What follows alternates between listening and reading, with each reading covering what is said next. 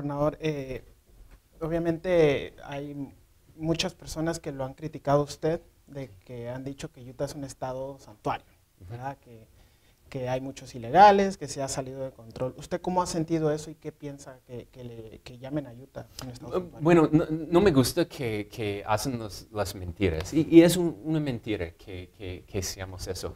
Pero, pero también queremos siempre ser un estado donde los que vienen aquí pueden sentir cómodo, pueden sentir la amistad. Es importante también. La diferencia es que queremos que los que lleguen lleguen en una manera legal. Y vamos, vamos a ayudarles a, a- a los que, que vienen aquí con sus visas o, o con, con- con sus papeles ah, y, y vamos a ayudarles a, les a ellos.